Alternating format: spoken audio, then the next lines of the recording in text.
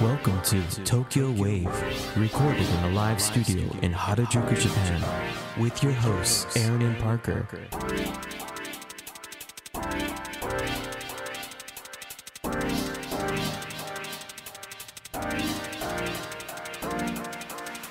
All right, everyone, welcome to episode 95 of Tokyo Wave. We are your hosts, Aaron Randall. and Parker Allen.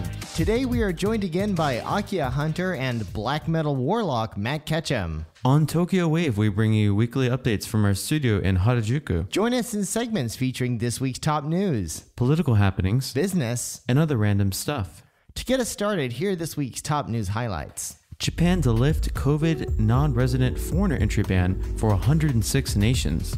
Cost of leaving home to attend Tokyo area private colleges hits record high of $18,000. Japanese soap firm makes April Fool's joke reality with cat seducing fabric softener. Meow.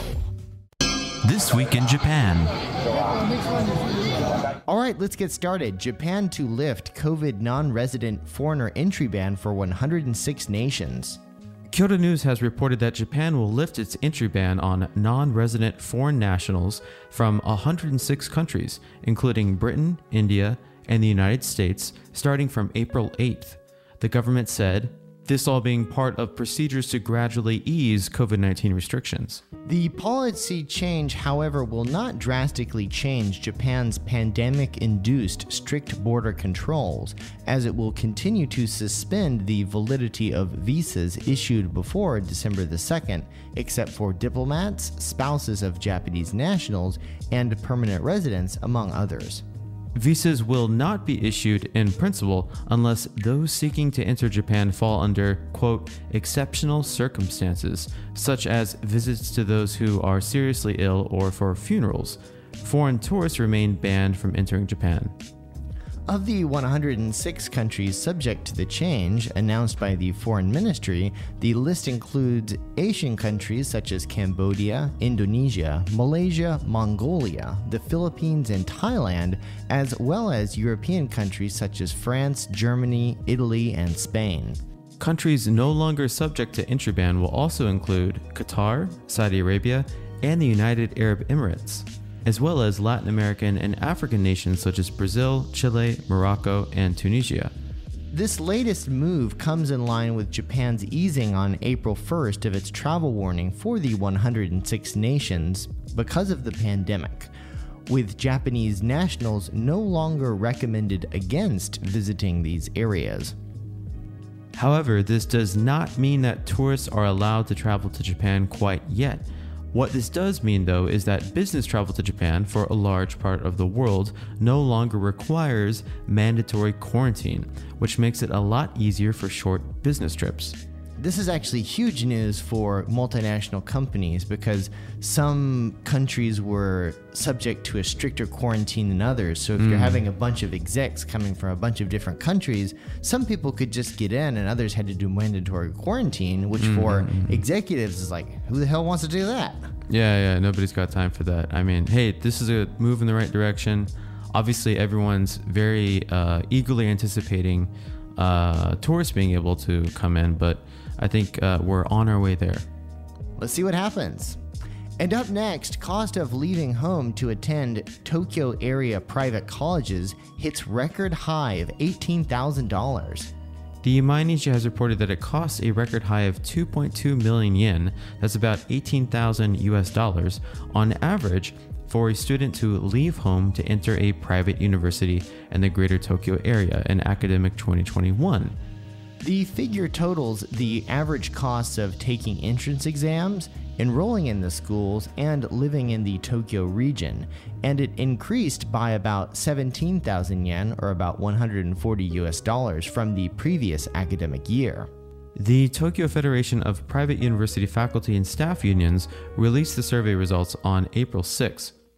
The main factors behind the increase were apparently growing payments to schools for their first year, including tuition and enrollment fees, as well as rising housing costs. Meanwhile, an average student's cost of living, subtracting rent from the money sent from home, was 650 yen, roughly $5.30 per day, the second lowest amount following the 670 yen record in the 2020 academic year. This survey was conducted between May and July of last year, and the Federation received responses from 4,900 guardians of students who had enrolled in 11 private universities and two year colleges in Tokyo, Saitama, Chiba, and Tochigi prefectures. The average amount of money sent from home in June onward was 86,000 yen, about $700 per month. That was up 3,800 yen, approximately $31, from a year earlier. But the average rent also rose 2,500 yen, about $20. You know, the rent is too damn high, especially for students. And, you know, with the pandemic, uh, I think a lot of students are choosing to live closer to home, and it's actually a potential boon for rural universities who had always lost out to students who sought the prestige of attending college in the Tokyo area. Absolutely. And, you know, talking about rural universities, it's really funny that, uh, you know, I get it why so many people, you know, come to Tokyo to go to university. It's similar in America, right? Like with Boston and, you know, uh, Southern California. But the rural universities in Japan are gigantic and gorgeous. And um, in Tokyo, they're like a building you know? So. Yeah and i mean i think pre-pandemic uh, a lot of people wanted to go to college in tokyo because there was this nightlife and you can go out and get messed up every weekend or every exactly. day or every hour. But uh, yeah, yeah. in this sort of pandemic situation the allure of tokyo for students isn't really that much anymore i don't think. For sure for sure and up next, Japanese soap firm makes April Fool's joke reality with cat seducing fabric softener. The Mainichi has also reported soap maker Daiichi Sekken has developed a fabric softener containing natural silver vine extract that it says is irresistible for our feline friends.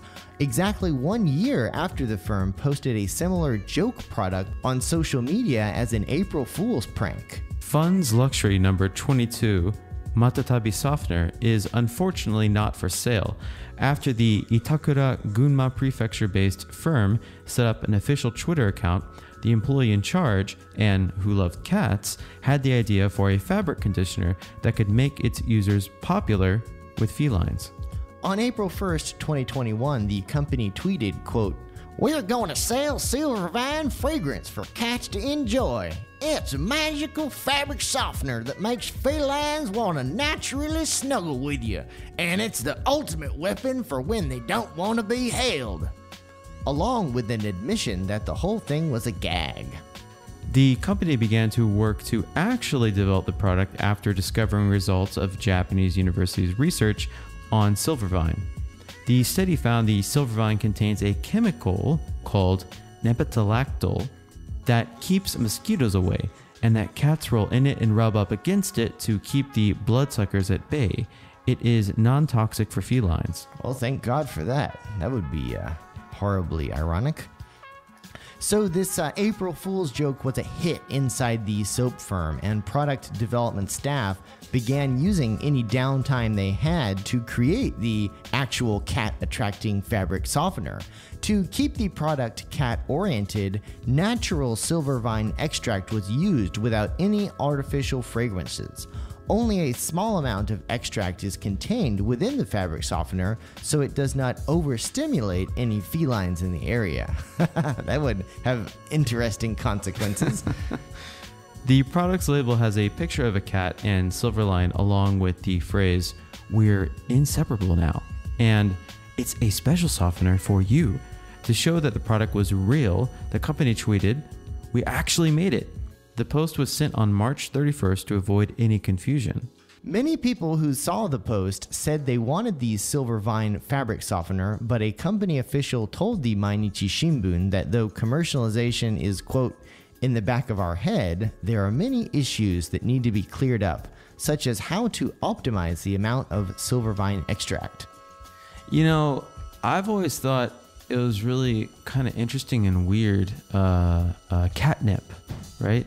Catnip is like drugs for cats. Like they literally get high, and I guess we're discovering, or they discovered a new drug kind of for cats.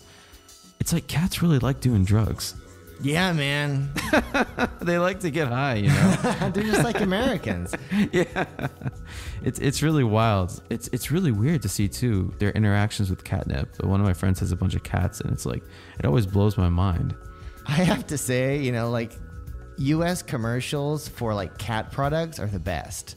Like Fancy Feast. I mean, who came up with that? They must be like a billionaire.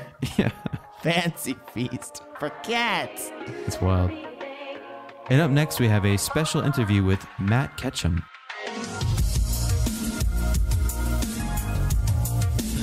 You're now listening to Tokyo Wave. Welcome back to Tokyo Wave, Matt. Hello, comrades. How you doing, Matt? What's going on? Uh, not much. I'm, yeah, doing a bunch of, doing a bunch of stuff. Talking about doing a bunch of stuff, um, how's it going in Yugawara? You mentioned that you might be going up to do some mountain climbing in Gunma soon. Yeah, I'm actually doing that. Uh, well, not in Gunma. Change of plans. Uh, I'm going out to. Well, tomorrow I'll be doing some climbing. Uh, where am I going?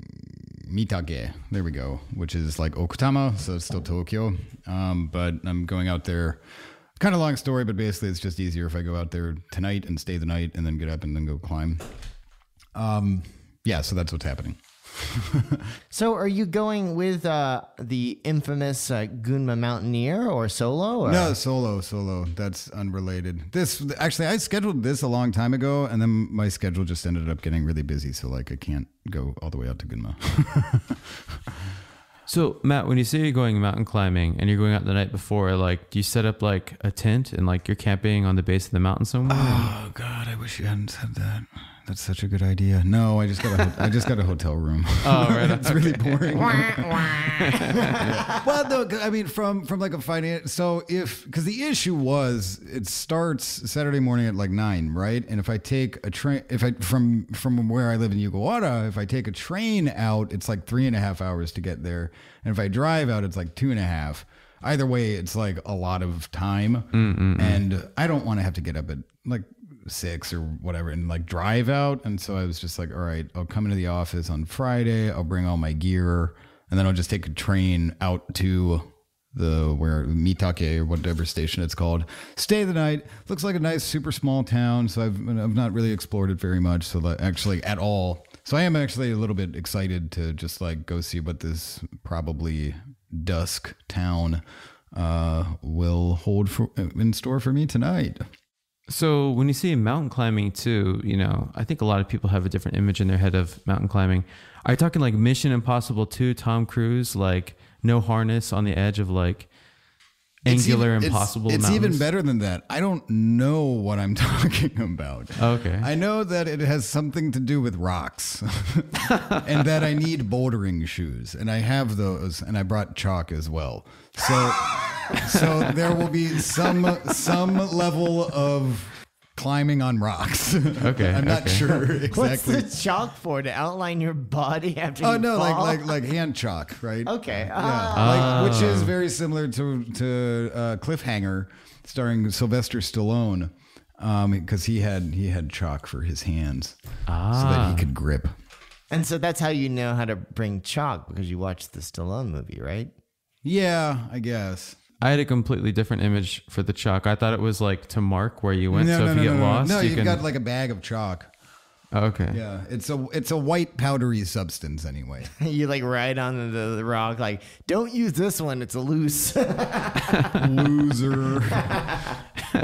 Matt was here. yeah, so that's that's happening tomorrow, and then it's actually a mega packed uh, weekend. I've got so I've got to go out there tonight, and then I do that tomorrow from like 9 a.m. to 3 p.m. or whatever, and then I've got to meet some people in Shibuya at I guess like five or six um, who are involved. I won't say any names, but a really neat uh, sm- and very major smart city project um, who also play mahjong. And the whole reason that I am meeting with them is because I wanted to learn how to play mahjong, whatever.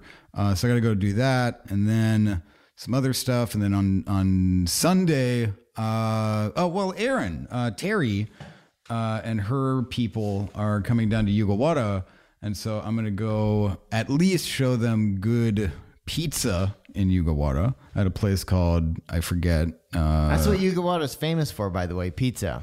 Not, you know, onsen or surfing. yeah, anything else? Um, pizza. It's really good. What's the place called? Let me look it up real quick. Uh, ga, ga, ga, ga, ga. It's like it's like C'est bon or something. Uh, we were talking about it in our chat. Oh, where to go? There you are. No, that's not you. Uh, this one. Uh, da, da, da, da, da, da. Salute. There we go. Salute. yeah. Um, super good pizza there. And so then I think after that, I'm free. So like from Sunday at 3 p.m., I can finally rest. No sleep for the weary. Jeez, dude. Yeah, I mean after that, I'll probably because we just dug a new uh, farm plot as well um, that I kind of want to get planting on. Uh, that there is some interesting local politics there. Uh, yeah. When you dig a hole, Uh, no, no, no, no. Oh no, like we were fine. It's just like the uh, I don't want to get into it. Uh, but no, we made a six bed, what like raised bed farm plots. Uh, we had to dig some of those out the other day. that hole is too big there, boy. You gotta get a license for that. It's not funny because it's probably true. well, Matt, so you said before we started that you have gotten into surfing and that your first experience could have killed you. Tell us more. Oh, Yeah, that was fun. Uh, why? Oh, actually, it's more complicated. So there's a backstory to that. In that, in Yugawara, at the garbage farm that I sometimes work on, one of the guys who lives in an abandoned house there. I love that lead in. Um, is the rumor is that he, I guess, was like one of the first, if not the first, uh, like major international surfing stars from Japan back in like the 60s or something. And so now he's like a mountaintop hermit. Um, but he also, and he's, he's this pudgy guy. He's got bad knees. He's got, he's bald and has a ponytail. Uh, and he's very quiet too, like very much a hermit. Sounds like an old surfer dude to me. Yes, I bet there's like a mysterious backstory or something. He's But like, yeah, I passed Yeah, around but- doobies with uh, the Beach Boys in '65. Yeah, right. But so he's got he's actually made other Akiya into functional surfboard shops on top of this mountain. Um, and so like a year ago or whatever, I was like, oh, surfing, that sounds cool. Like, I wonder, I wonder if he'd give me one. And so he did, but then I didn't have a car. And I mean, I'm close to the beach, but I'm on top of a hill and basically just like carrying the board all the way there kind of would have sucked. So you had a board, but you had no Right. practical way of getting yeah, it to yeah, the yeah. ocean where you use the board. exactly. Um, and so, but then I got a car, right? Uh, The chimney. the chimney. That was on our last episode with Matt. Yeah, and so I was, I was like, oh, good, okay, I can go surfing now. But then I thought, ah, hmm, how did this work out? Because I went to get, what was it? I went to get scuba licensing, my scuba license, and then I think I basically just thought, like, you know what? I could go surfing on my own. I have no idea what I'm doing, but like the scuba experience was pretty good. So what if there's like a surf shop or a surf school somewhere around here? That seems like a, a good thing to do. And there was one. There's one in Chigasaki. It's great. Uh, it's called Surf Finesse. Uh, and my teacher's name is Gio. He's a real gnarly dude. Um, and so, yeah, uh, booked the surfing lessons. And I'm like, holy shit, now I can surf. And that was the first time, which is when the storm was. So I guess I can now talk about that. And I'd booked it like, I don't know, a week or two in advance. And it, oh, no, it was like a last minute cancellation. And he, so like a day or two before, he was like, oh no, we can squeeze you in. You should come on out. And so I do. And I'm really excited about this. But like, it was like a serious, pretty serious storm that day. Uh, and I'm driving out along the coast and just looking at the waves like, uh, oh, this isn't. Yeah, yeah. The day that you went out, like a mutual friend of ours said, like, Matt went surfing on that day. I went in the afternoon, but it was like deathly. Yeah, it was. What it- the hell was he doing out there? Yeah, it was pretty well. And I, so I arrived at the place, and I, again, the teacher guy, Geo, super cool dude. He's awesome. I like him a lot. Um, but I think when I first showed up, I, w- I wonder if he was a little bit dismissive because it was just like such a heavy day. Because he was like, "Yo, dude, like you need to go go take a look at those waves." I was like, "All right," and I did, and kind of gulped a little bit. But aside from that, it's like, you know what? I booked it. I want to do this. I'm here. I probably won't die uh, you know, let's weigh those odds. And it seems like they're in my favor. so, and he was like, all right, cool, let's do it. So I got suited up in a wetsuit and everything. Um, he gave me a, a big long board. I mean, that was the thing because the waves, oh my God, surfing is so difficult. Um, and the waves were massive. So I was just getting like pummeled. I must have looked so pathetic uh, because I'm just like trying, like very poorly paddling through these massive waves that are trying to kill me with honestly like no actual goal because it's not like I've ever stood up on a surfboard in the middle of a storm or anything.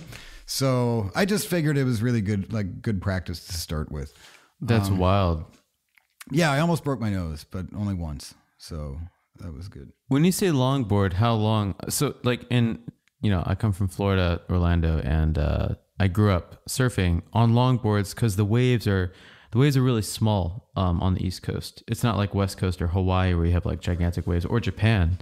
Um, so like we surf on boards that are like probably like eight to nine feet tall. Yeah, this is like 78.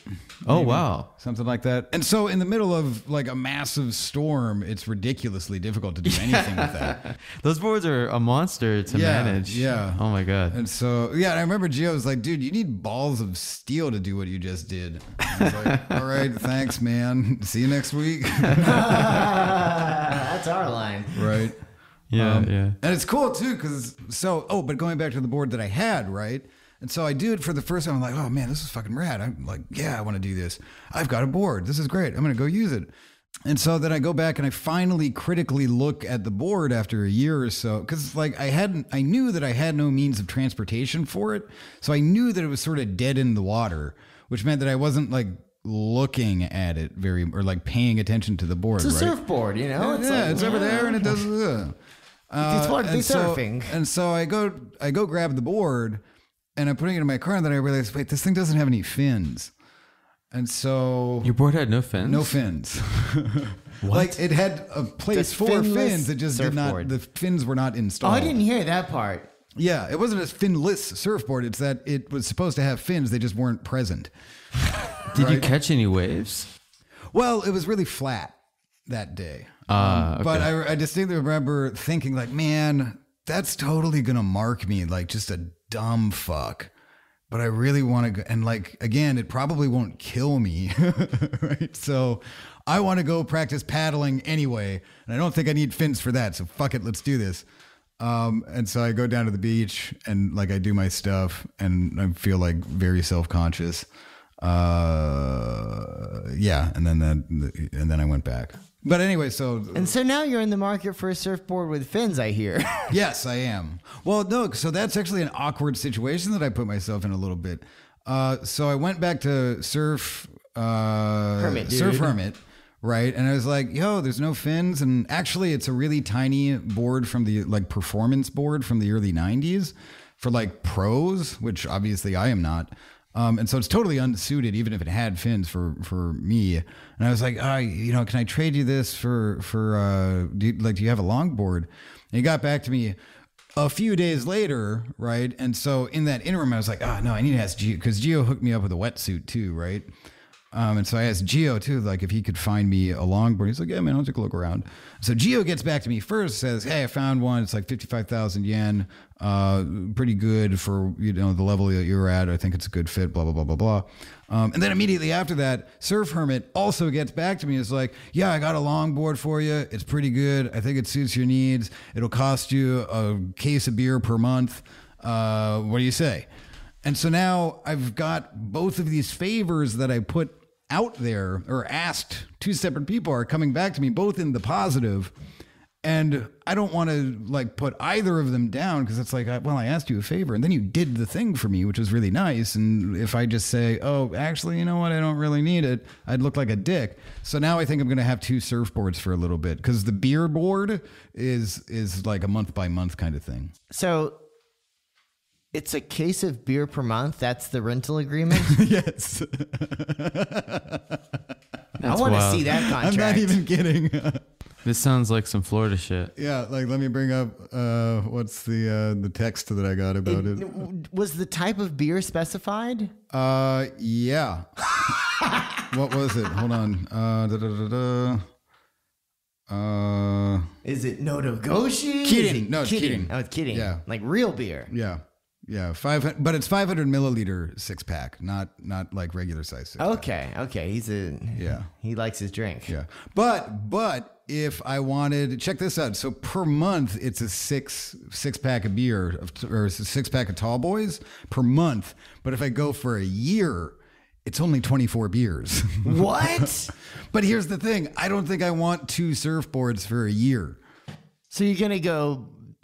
I Six think pack I, by I, six I, pack. I, I think I'm gonna go like two months just to be like, all right, I really Yeah. appreciate it. So here's, I guess, 12 beers or something. Oh, you, you're, But you're I also for think, two months yeah, up front. But yeah, right. But I you- think because think, got two hands. I think all, this is another thing that I have to, 'cause- and this is like Enoch politics, right? Think about it this way: old surfer legend dude who lives on top of a mountain and is very quiet and doesn't communicate with very many people finally opens up to mild mannered Matthew Ketchum, who's trying to surf, and says, "If you give me beer, I will make you surf." I need to go drink with him.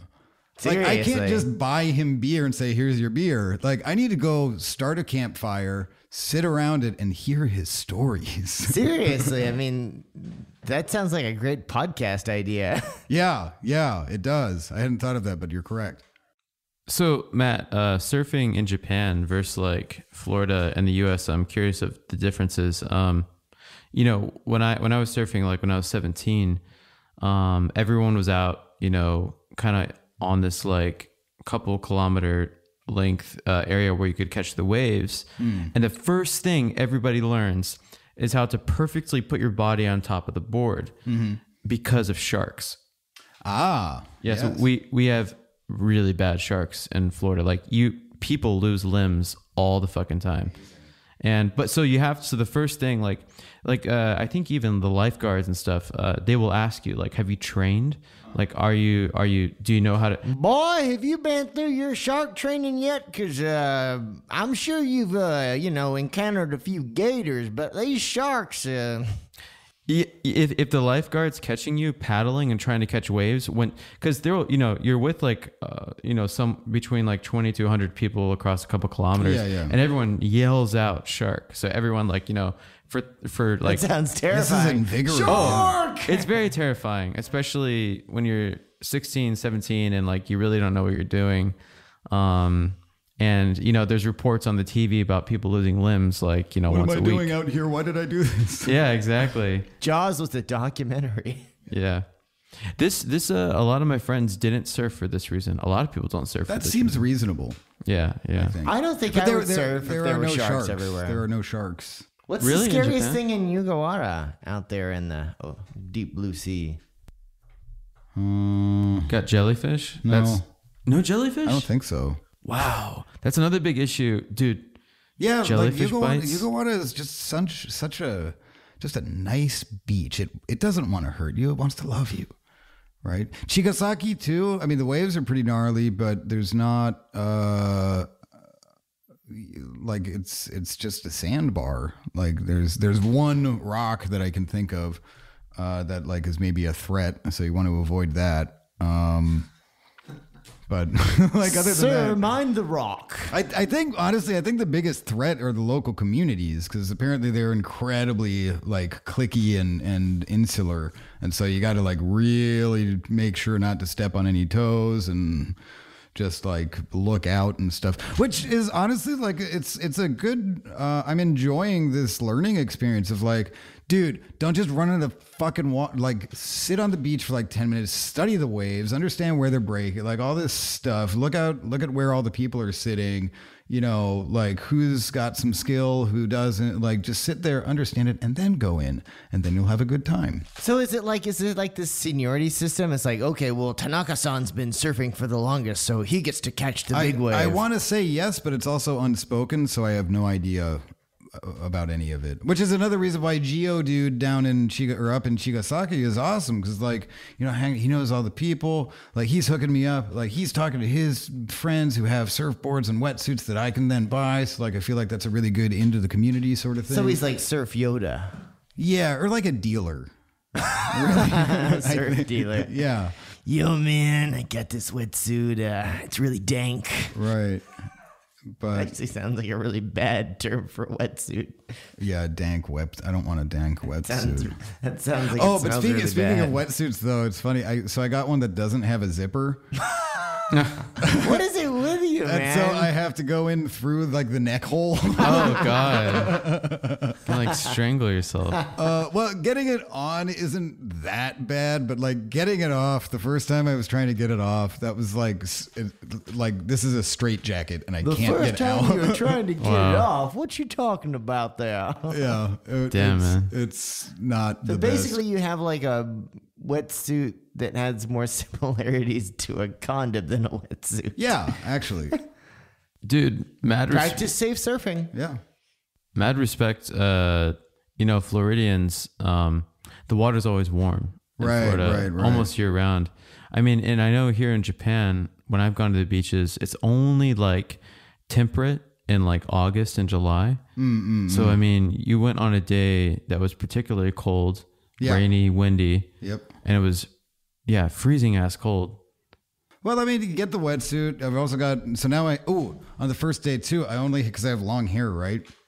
And so I I went just like with uh, like a hair tie, and that actually ended up being fine. But then when I was in Yugawara with my, my shitty board that doesn't have any fins, um, totally lost my hair tie. And so there I am with just like hair all over the place, which sucks. So then I, I also I got a like a neoprene hood as well, which holds my hair back. I got the booties as well, which is good. So are you like a surf ninja? Kinda, yeah. Like I'm in basic, yeah, I'm in a full neoprene suit uh, when surfing. A black neoprene. Wait, no, it's not black. It's like blue and white. What am I thinking? So it's like an '80s themed. Kinda. Uh, it's like, but not skiing, or I'm s- not surfing so much as like it's like an 80, 80s skiing themed uh, wetsuit with no zipper. with no zipper. Interesting. Yeah. It works, whatever. Well, that's the other thing too. Like, I'm the type. This is what I did with camping at the onsen place as well in Yugawara. Is like, give me the shittiest possible version of this experience, and from that I will learn everything. And so now that I have such an uncomfortable wetsuit, anything is better. You got to start somewhere. exactly. So no shortboards. I thought I thought Japan was all about the. Oh, there's a lot of short boards. I just, I'm just a beginner, so longboard makes much more sense. yeah, it's harder to catch on the shortboards for sure. Exactly. But I look forward to the day that I can get on a shortboard. So, like, surfing is also really big in Kamakura. And one thing that always blew my mind is how you'll see people on bicycles with surfboard attachments. Ah, yeah, yeah, yeah. Huh? You don't Yeah. know about these? You surfed and you don't know about these? Wait, wait. Bicy- no. 'cause- Bicycles with surfboard attachments. Okay. And apparently, some Japanese dude invented this and has the patent for it. In Chigasaki. Oh, yeah, yeah, you were talking about Yeah, this. yeah, yeah. Because my scuba dive train, my scuba trainer lives in Chigasaki, and he just started surfing through like he was at the bar, and there was this old surf dude, and he was like, "Oh, surfing," and the surf dude was like, "Yeah, surfing." and then they started surfing together, and it turns out he's the dude who invented this thing. So where does the surfboard go? It's it's like a side holster for your bike or moped. Ah, okay, okay. On the side, yeah. Yeah, I Yeah. saw mopeds in Kamakura too. Yeah. yeah. I'm also like just thinking of like a dude with a helmet with like a surfboard attached to it. That's ridiculous. Well, like a, like a banana lady. that would like break your neck. Yeah. yeah. and kill people in front of you Yeah. and behind you with the fins. Yeah, but those those things are pretty ubiquitous. Um, and also like the parking spots for surfing are actually they're like equipped for surf cars. Mm-hmm. So they've got like washing stations and like just kind of the specific thing. And, like, Surf cars. yeah, so like if you're going like me, I'm going surfing. I need to drive to the beach. I need to park my car somewhere take and then go surf and then come back. But you know, I'm covered in sand, and you know, I need to wash stuff off. Got to take a shower. All these things. Uh, at least anyway, the parking lots in Yugawara are come equipped with like little washing stations that have like showers and stuff. That's nice. Yeah, it's good. It means it basically means you get in your car and you're not just like spreading sand everywhere. Yeah, sand in cars is not good. As well as removing like the salt water from your wetsuit, right? You don't want that stuff sticking in there because otherwise it'll end up deteriorating. You guys are bringing back the memories of living in Florida. There's sand everywhere. Oh yeah, Yeah, sand is really nice to look at, but uh, once it gets somewhere, it just uh, it keeps on spreading. It's kind of like COVID. yeah. It's very the original COVID. Yeah, yeah. Um, so yeah, surfing is good. I think I'm gonna go next Thursday. Um, as well. What else is? Uh, but yeah, a lot of surfing, a lot of climbing, a lot of scuba. Not so much camping. I want more camping. A lot of rock and roll. Rock and roll is coming back. I'm telling you, like, Matt, you're like an action figure. You like have all these different attachments, and like now Matt surfs, and now he's mountain climbing, and now he's farming. and This is like, the goal. this this is the goal. I mean, it's it's like we've talked about it before, and we're we've kind of started working on it a bit. But Matt is we need to make a video game based off of Matt's life. I mean, Well, because originally though it was more of like taking the video game and my life is kind of like it, but now the tables have turned. right, right. Okay, I, I'll take that as a compliment. living the Oh, and we were we were also talking too specifically about the the fishing mini games of of video games just across the board tend to suck. And so we were so talking. you're gonna learn to fish. No, no, no, no. Well, yeah, but I mean, I already know how to do that.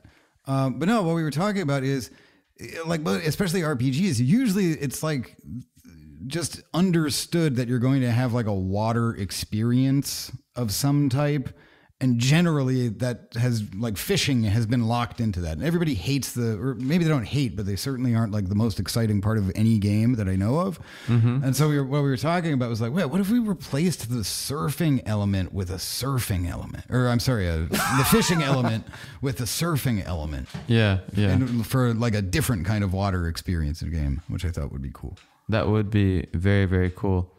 Especially if you had to like, you could have the sharks like come in randomly and you have to like, you know, do the, pose on the board.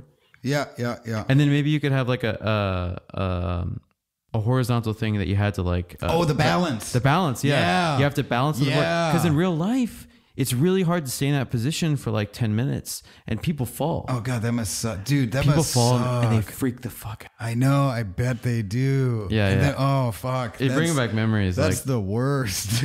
I remember. You gotta press X and O and X and O, and if you press X or O too many times without pressing the other one, then you're dead. Or no, you And don't do that. You could just you. you. could literally just make it like like like Dance Dance Revolution. Of it's like a music game, except instead of there's a dancing figure on stage, it's you're not going to fall in the water and get eaten. or lose a limb from Yeah. one of the sharks. Yeah. I could play that. This sounds like a, a fun game idea, actually. oh, dude, Dance, dance, not get eaten by the sharks. Revolution. put it on a phone.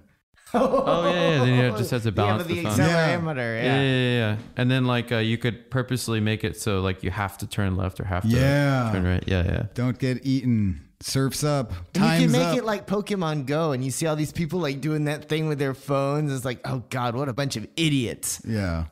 Actually, even the surfing component, like you know, you swipe to maybe catch a wave, and when you're on the wave, you have to balance the phone to keep balanced, and then also to kind of follow the direction of the wave to, to keep you know. Yeah, yeah, yeah. You yeah. guys are gonna create the next uh, video game Are that turns everyone in games? Tokyo into zombies. We got to do some. Re- it's always a, about the research. There's probably some surfing games out there. but probably not that many.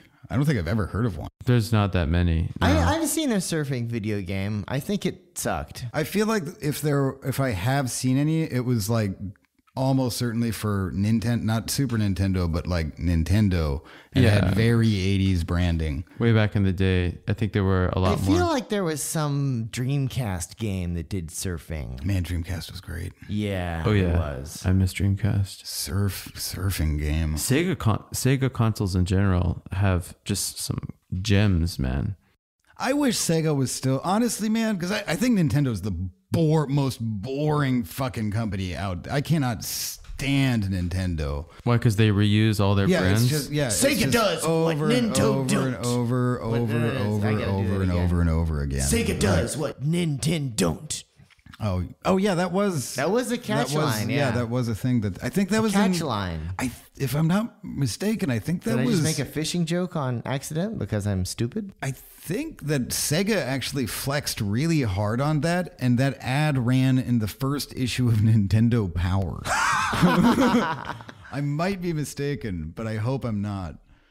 Um, so there's a really really good Netflix show called High Score, and they talk about um, Sega competing with Nintendo and winning uh, back in I think like you know what was it the the 90s. Yeah. But um Yeah, for a time, Sega Genesis was just eating Nintendo's lunch. yeah they they they made they wanted to brand Sega as like the cool older brother and like it had all the adult games or like the games that because you couldn't get blood on the Mortal Kombat for Super Nintendo, but Sega had the blood and all. And I think they had like there was a cheat code you could get it later for Super Nintendo, but Sega had this more adult, you know, image. And for young like boys, that's cool. So they they killed it. Um, and this was all uh, Sega America kind of took this Yep. marketing strategy. And then Sega Japan ended up just torpedoing it, right? Oh, really? I think that's what it was. They're- They didn't have that in the in the high score uh, I, re- I think I there's a YouTube documentary about this, and there there was a ser if I remember correctly, there was a serious difference of opinion, let's say, between the CEO of Sega America and Sega Japan. Oh yeah, yeah, yeah. Uh, there was like, I think the the Japanese uh, CEO even, um, what is it? He he heard the plan from the American CEO, and they all walked out of the room without saying anything. And so the American guy's like, "Well, shit, I guess I can't do anything." He's like, he's like, you know, when I hired you, I told you you could do whatever you want, so just fucking do it. so he ended up doing it, but you know, it was not a good relationship. Yeah. Yeah, which is unfortunate because that was such a good company. I mean, they're still a company. I don't even like. What do they do now? They still make games like Yeah. Sonic Okay, and Sonic. Yeah, Also Sonic. They're they're still big in the arcade space as well. Uh, yeah, but I mean, even the, The arcade, arcade space, space. like that's still a business model. It actually, uh, surprisingly, in the states and whatnot as well, there is a lot. There is a big arcade cabinet industry. It's not like a super, you know, like high value industry, but actually, one of the biggest uh, like minor victims of the pandemic was all of the barcades. A lot of them closed their doors because people weren't going. I was actually working on a game that was going to get released in like over 100 barcades in America, but because of COVID, that project has been put on hold. So, COVID ruined everything. yeah. Did. Damn. Damn. Well, on that bombshell, Matt, thanks so much for coming on the show today. Thank you, guys. Really appreciate it. Thank you, Matt. Hey, listeners, that's right. You, you listener, right there. Who do you think should be our next guest on Tokyo Wave? Let us know. Drop us a line at wave at tokyowave.jp. We hope you enjoyed Tokyo Wave. If you haven't already, you can subscribe to our podcast on Apple Podcasts, Spotify, SoundCloud, and YouTube. Join us again next week on Tokyo Wave.